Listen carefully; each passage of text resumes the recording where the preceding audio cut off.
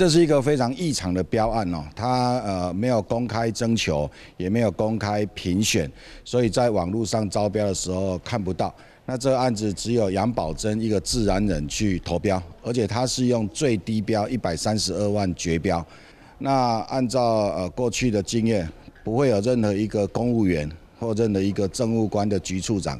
敢采用这样的招标方式。那这落坐实了啊，谢国良金价就干。我是建议谢国良做事光明磊落。那杨宝珍这个案子应该是全台湾首例，只要写一个价钱，任何自然人都可以投标。所以很显然，这是一个先找到了杨宝珍，然后再招标的一个呃招标方式。讲一下，认为宝宝这个标案有多特殊，根本就是为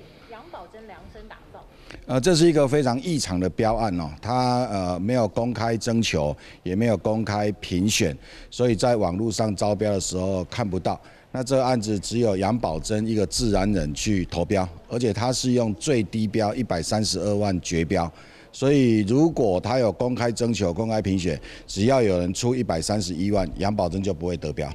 是第一个，那第二个呢？敢采用这样的招标方式啊，限制性招标，限制投标人的条件，可是又不公开征求，也不公开评选，通常就是对这个人啊，他在某一件事情上有特殊的成就，全台湾只有这一个人才敢开这样的标。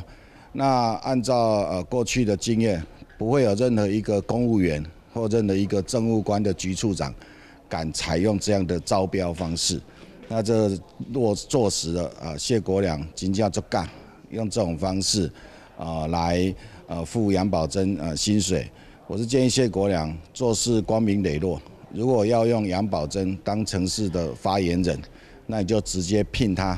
为你们市府的员工，没有必要透过这样子的一个方式让他领局处长的薪水。然后这个标案又没有公开征求，也没有公开评选，还采取限制性招标，让人家觉得，嗯，你应该是先确定人选才开了这个标案。所以简单来说，这个标案自始至终只有杨宝珍知道，然后也不对外公开，只有他等于是他自己可以去投这个标而已，对不对？没有错，因为他没有公开，所以不会有第二个想要投标的人知道啊，因为没有公开，也不知道什么时候投标，什么时候截止投标啊，然后呢？因为它是最低标，所以其实只要写一个价钱啊，所以杨宝珍写的一百三十二万，他就得标了啊。那所以这个案子，呃，去问所有的公务体系，没有人会建议首长用这样的一个呃招标方式啊。那杨宝珍这个案子应该是全台湾首例。那个昨天谢国良他的意思是说，说感谢副市长大力协助，所以是自己的标案还自己找人来？呃。这个基隆市的副市长也表达过说啊，当然杨宝珍啊什么他有协助啦，或者是他很支持他来做这个位置之类的。这个案子是去邀标的啊，就是去邀啊杨宝珍来投标。那你身为一个副市长，或者是谢国良身为一个市长，照道理你们不会知道是谁来投标，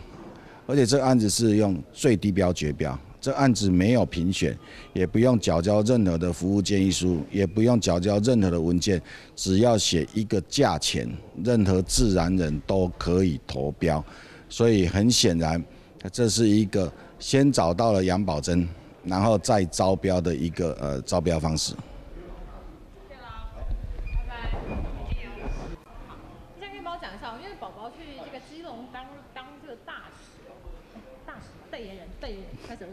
大使，大使，政策大使。代言人，对，他是考虑到代言人。那其实实际上，据你了解，他原本上是台中的。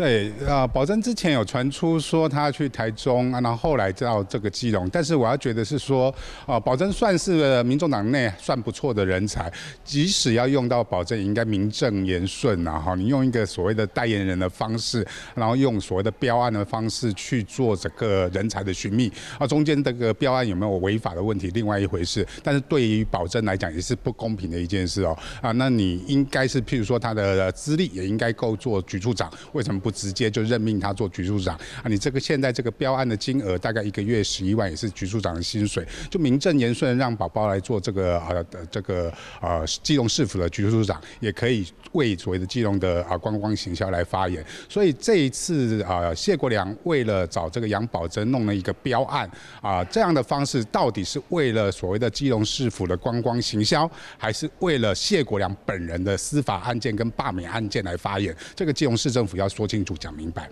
所以，根据你了解，可以不可以清楚帮我讲到？因为当初宝宝是因为这个特别有个关系，本来是台中市，后来为什么会选择到基隆？因为可能未来跟他的呃松信地缘关系比较紧密。呃，一方面是呃台中毕竟在中部嘛哈，那所有的媒体关系还是在台北啊，那基隆离台北相对来讲比较近。第二个就是谢国良也需要所谓的杨宝珍在上争论节目帮他做啊个人的上面的司法上面也好啊，跟啊罢免上面也好的相关的辩护啊，这些都有一些媒体啊的机会。那对于他未来想要选松信选区来讲，也是一个不错的选择。但是我还是要讲说，还是名正言顺，不要用代言人的方式。谢国良也需要所谓的杨宝珍在上争论节目帮他做啊个人的上面的司法上面也好啊，跟啊罢免上面也好的相关的辩护啊，这些都有一些媒体啊的机会。那对于他未来想要选松信选区来讲，也是一个不错的选择。但是我还是要讲说，还是名正言顺，不要用代言人的方式。基隆市政府请杨宝珍来担任二零二四的基隆政策推广大使，均依法治程序进行。那杨宝珍呢？他担任过广播节目的主持人，也担任过政党的发言人。那经营社区媒体非常有成效，他在脸书跟 IG 的声量也都好，非常会操作社群媒体。那特别是我们基隆即将要成立儿少处，相信他的到来会协助基隆在儿少妇幼相关政策上面提供我们最坚强的一个宣宣传的保障。那至于，